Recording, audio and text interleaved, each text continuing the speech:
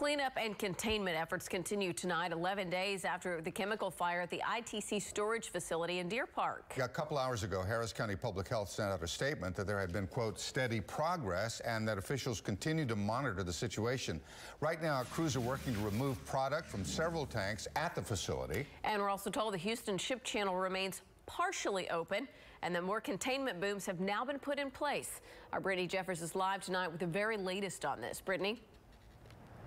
Well, of course, the focus remains on the cleanup, but unfortunately, the Coast Guard told us today that some of that oil has escaped from the booms. There were some places today where we could smell it in the air and see it in the water near Lynchburg Ferry.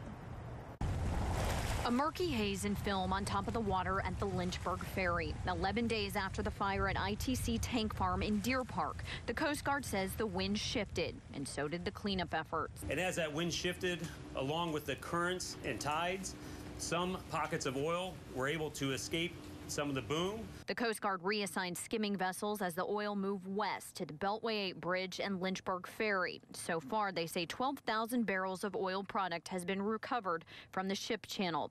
Around the area, several parks near the water are also closed. The Houston Ship Channel only operating during daylight hours.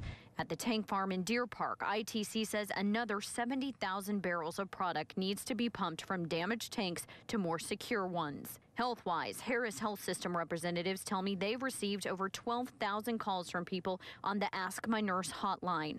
The common symptoms being cough, shortness of breath, and headache.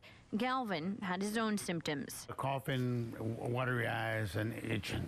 He says he saw the cloud of smoke and felt it in the air outside of his house, and now he's waiting for more answers. Meanwhile, the president of ITC, Brent Netlin, turned to YouTube last night to speak publicly for the first time since the fire. I'm profoundly upset the incident happened.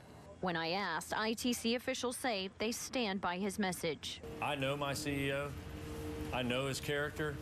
I can assure you that he's sincere, he's genuine, and when he speaks, he speaks from the heart.